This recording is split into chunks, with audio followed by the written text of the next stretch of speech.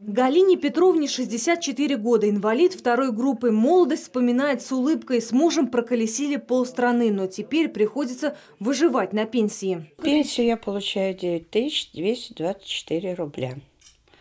Ну, конечно, не хватает пенсии. Лекарства очень дорогие.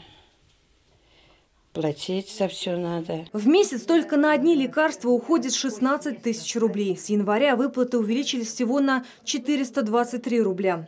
Напомним, в этом году в рамках пенсионной реформы выплаты проиндексированы на 7% или в среднем на 1000 рублей. Но многие не ощутили изменений. Причина – отмена или сокращение социальных доплат. При ежегодной индексации индексируется у нас только сама пенсия без учета вот этой доплаты.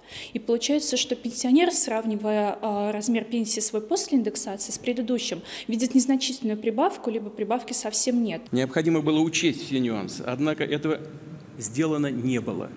А такого быть, конечно, не должно. Возникшую несправедливость, а это, безусловно, так и есть, надо немедленно устранить. Уже с текущего года индекс, индексация пенсий и ежемесячных денежных выплат должна осуществляться в любом случае сверх уровня прожиточного минимума пенсионера, который устанавливается ежегодно.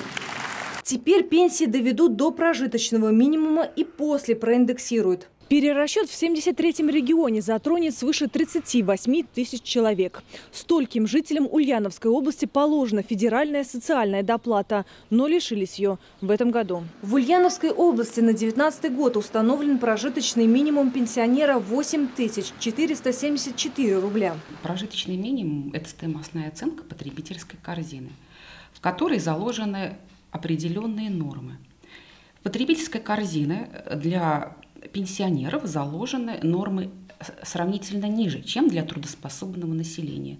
Потому что э, э, считается, что пенсионеры затрачивают меньше калорий, меньше энергии. Только никто не учитывает, что пенсионеры не могут прожить ни дня без пилюль. Лекарства не включены в потребительскую корзину пожилых людей. Вот и еще один нюанс реформы или в регламенте, который устанавливает прожиточный минимум.